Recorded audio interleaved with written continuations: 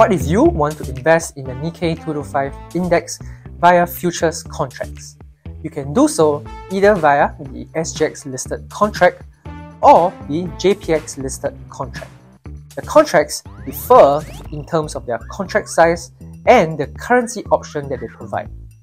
The SGX listed contract can be traded in either the US dollar or the Japanese yen.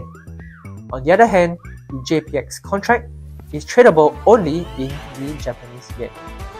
For the SGX contract, the minimum tick value is about 5 index points or around 2,500 yen per contract, while the JPX contract's minimum tick value is around 10 index points or 10,000 yen per contract.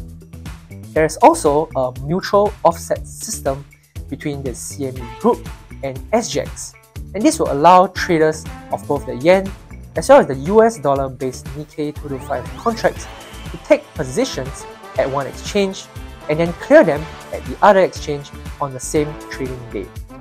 And ultimately, this will provide flexibility and convenience for traders in different time zones.